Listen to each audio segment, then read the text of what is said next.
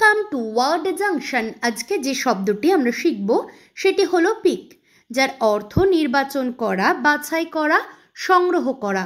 First example you can pick any fruit you like from the basket যার অর্থ আপনি ঝুড়ি থেকে যে কোনো ফল পছন্দ করতে পারেন।